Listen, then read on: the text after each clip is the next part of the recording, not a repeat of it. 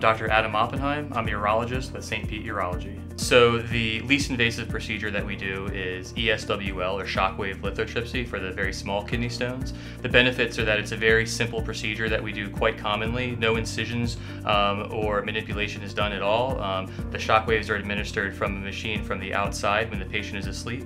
It usually takes 20 or 30 minutes and the patient goes home soon afterwards. The, the, the drawbacks to this procedure are that it, it wouldn't be um, effective in treating large stones. The second one's called ureteroscopy with laser lithotripsy.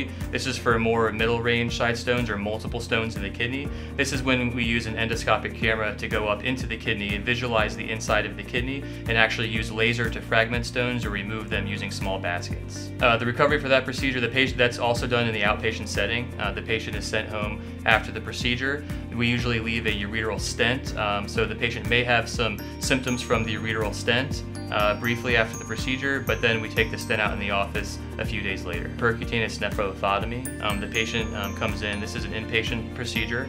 Um, we use a larger size scope to go in through the patient's back. We have a radiologist help us uh, obtain access to the kidney, um, and we use a large scope um, and a special instrument to fragment the very large stones.